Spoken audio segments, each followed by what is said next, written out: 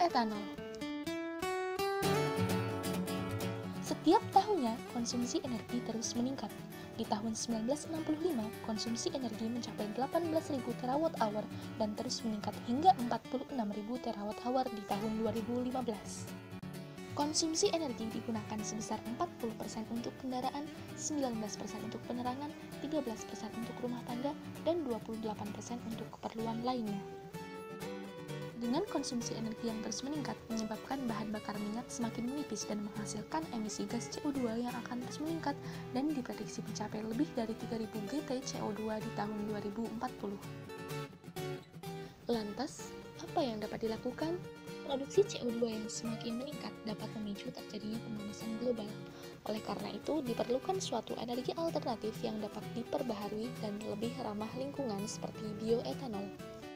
Bioetanol dapat diproduksi menggunakan dua cara, yakni kimiawi dengan bahan kimia dan biologis melalui fermentasi oleh ragi.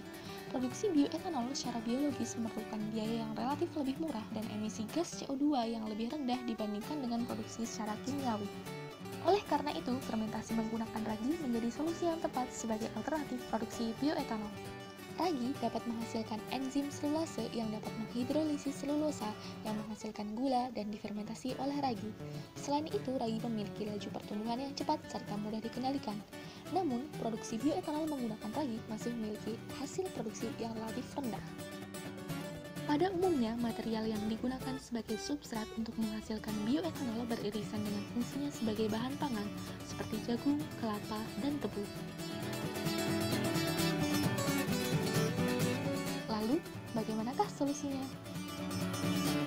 Diperlukan pemilihan material dan optimasi terhadap ragi agar dihasilkan yield bioetanol yang maksimal. Petaris atau tanaman paku merupakan tanaman yang tidak memiliki fungsi berarti secara ekonomi Petaris mengandung tiga komponen, yakni selulosa, hemiselulosa, dan lignin. Selain itu, petaris juga terdapat di alam dalam jumlah yang besar.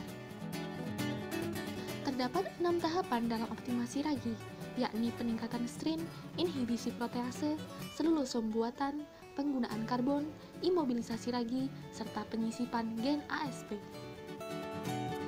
Pertama, peningkatan strain ragi. Dilakukan rekayasa genetika terhadap sel ragi sehingga dapat meningkatkan ekspresi gen penghasil selulase dan efisiensi pemecahan biomasa berupa selulosa dan hemiselulosa. Kedua, selulosom buatan. Penambahan protein selulosom buatan pada permukaan sel ragi dapat membantu terjadinya interaksi yang lebih banyak antara substrat dan selulase. Ketiga, minimalisasi diproduksinya enzim protease. Hal ini akan mencegah perusakan enzim selulase oleh protease. Keempat, meningkatkan penggunaan jenis sumber karbon ragi. Semakin banyak transporter gula yang dimiliki oleh ragi, semakin banyak pula jenis gula yang dapat difermentasi menjadi etanol. Untuk meningkatkan penggunaan berbagai macam sumber karbon oleh ragi, terdapat dua cara. Pertama, menemukan strain ragi yang sejak awal sudah dapat menggunakan berbagai jenis gula, seperti Chloephiromyces marcianus dan Pichia anomala. Kedua, membuat sel rekombinan melalui rekayasa genetika ragi. Rekayasa genetika agar dapat menggunakan berbagai jenis karbon dapat dilakukan dengan menyisipkan gen ke dalam genom ragi yang memungkinkan penggunaan berbagai jalur metabolisme gula. Ragi rekombinan dapat menggunakan berbagai sumber karbon seperti glukosa, silosa, dan galaktosa lagi memiliki kemampuan untuk mengonsumsi etanol yang diproduksinya sehingga mengurangi jumlah produk etanol. Gen ASP berfungsi untuk meningkatkan laju pertumbuhan, produktivitas, dan mengurangi konsumsi etanol sehingga yield produk meningkat. Terakhir, imobilisasi dan densitas sel yang tinggi.